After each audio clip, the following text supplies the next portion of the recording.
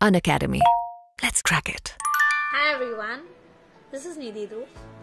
I am uh, with a very very important news today. Uh, Omicron नाम का एक नया कोरोना वायरस का वेरिएंट आ चुका है आपने आई एम श्योर सुना होगा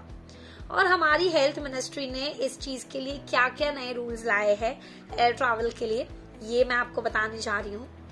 so once anybody who travels from countries at risk जो भी सर्टन कंट्रीज़ बताई गई है like UK Israel New Zealand Africa and lot of countries have been mention in that list जो कंट्रीज़ एट रिस्क है वहाँ से अगर आप ट्रैवल करके आओगे you need to submit your last fourteen days travel history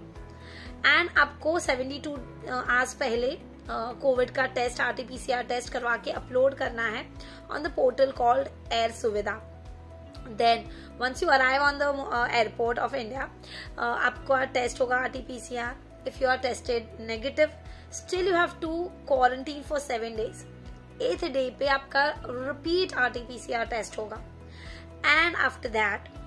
if you are tested negative you are free to like free for doing anything you want but अगर positive है तो आपको वापस क्वारंटीन ठीक है?